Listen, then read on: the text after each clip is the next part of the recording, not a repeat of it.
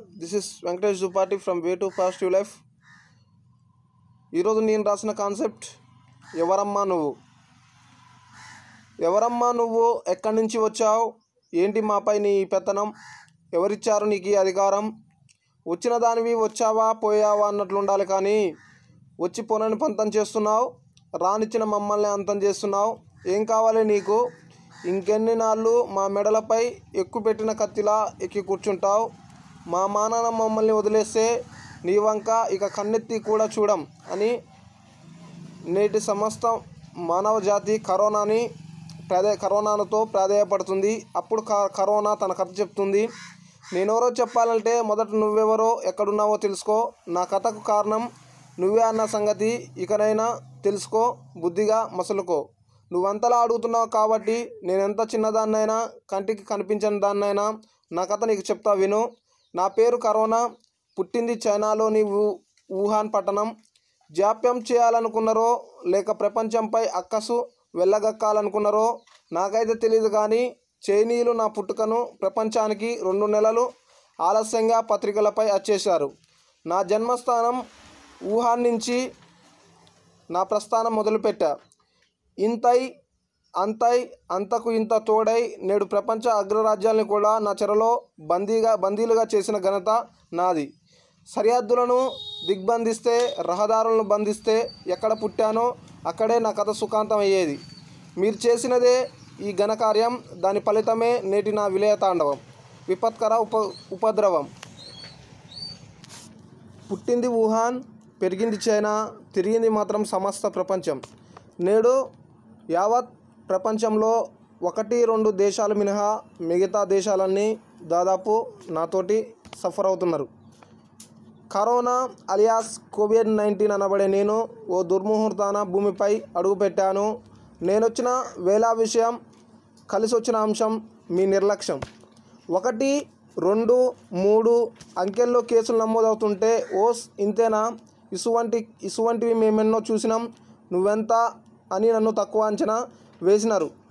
మీరు swine flu bird flu Zika Ebola రినోలా పేర్ల ముందు వైరస్ వస్తే చదివిన మర్చిపోయిన మానవుడు మళ్ళొకసారి నా పుణ్యాన అన్ని వైరస్ల గురించి పునాధ్యయనం మొదలుపెట్టాడు.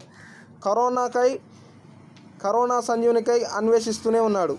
ప్రపంచానికి ఓ పేరు పరిచయమై కొన్నాళ్ళే అయింది కానీ పరిచయమైన కొన్నాళ్ళకే యావత్ ప్రపంచం ఆ పేరు వింటే భయపడుతుంది.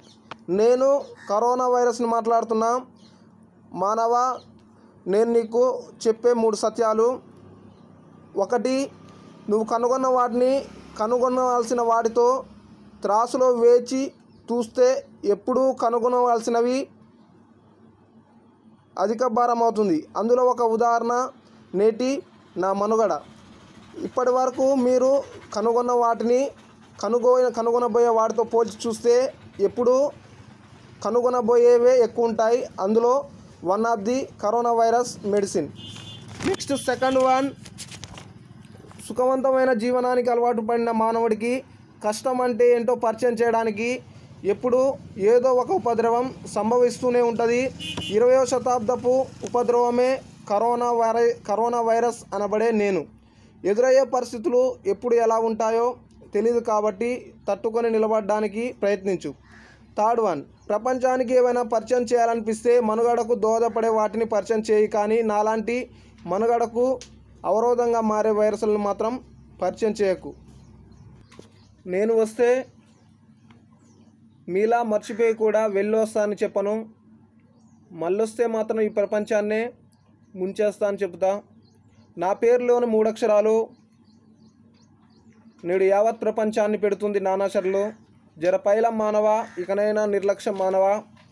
చేతులను పదే పదే కడుగు ముఖాలకు పరిశుభ్రమైన మాస్కులను తొడుగు. ముందున్న వారి నుంచి మీటరు దూరంలో నిలబడమే నీకు ఇచ్చే నీడనిచ్చే గొడుగు. వాడు శానిటైజర్ ఇది నిన్ను తప్పించేను కరోనా డేంజర్ నుంచి. నువ్వు వాడే హ్యాండ్ వాషే నీకదే తోడు ఈనాడు. నేడు యావత్ ప్రపంచం భారత్ వైపు చూస్తుంది సార్. భారత్లో ప్రతి రెండు వేల మందికి ఒక వైద్యుడు కూడా లేడు. మన యొక్క అందుబాటులో ఉన్న వైద్యులు ఒక థౌజండ్ మెంబర్స్కి zero point six two members. అంటే రెండు వేల మందికి ఒక వైద్యుడు మాత్రమే మన భారతదేశంలో అందుబాటులో ఉన్నాడు. మనకున్న వైద్య పరికరాల సదుపాయాలు కూడా అంతంత మాత్రమే. అయినా కూడా ప్రపంచ దేశాలకు సాధ్యం కానిది ఒక భారతదేశానికి మాత్రమే సాధ్యమైంది. దీని యొక్క ప్రధాన కారణం ఏంటంటే ప్రతి ఒక్క పౌరుడికి దేశం అంటే ఒక స్ఫూర్తి. ఆ స్ఫూర్తితో నేడు ఇళ్ళకే పరిమితమయ్యారు. స్టే హోమ్ స్టే సేఫ్ అనే నినాదంతో నేడు యావత్ భారత ముందుకు పోతుంది. దాని యొక్క పర్యవసానమే నేటి కరోనా కేసుల్లో భారత్ వెనుకబడి ఉండటం. నూట ముప్పై ఏడు కోట్లకు పైగా ఉన్న జనాభాలో దా దాదాపు ఇరవై వేల మందికి మాత్రమే నేడు పరిమితమైందంటే దాని యొక్క వెనక చాలా దృఢ సంకల్పం ఉంది. ఆ సు- దృఢ సంకల్పం దేశానికి ప్రతి ఒక్క పౌరుడు దేశం పట్ల ప్రతి ఒక్క పౌరునికి కలిగిన దేశభక్తి. ఇదే దేశభక్తిని మున్ముందు కొనసాగిస్తూ కరోనా ఫ్రీ కంట్రీగా భారత్ని తీసుకురావడంలో ప్రతి ఒక్కరు కృషి చేయాలని నా తరపున కోరుకుంటున్నాను. Jai Hind. I love my India. Thank you to all.